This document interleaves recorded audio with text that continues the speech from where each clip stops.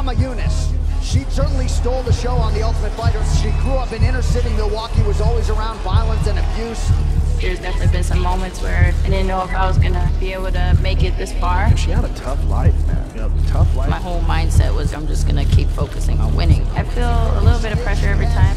It's always there. That kind of pressure, yes. On winning. cannot deal with the pressure. It's too much for you. I don't know if Rose Namajunas has the mental toughness to be a champion. Thug Rose, she reportedly lost her love for the sport, even toyed with the idea of retirement. I just wanna do something else in my life. Like retirement. I don't know. It's just hard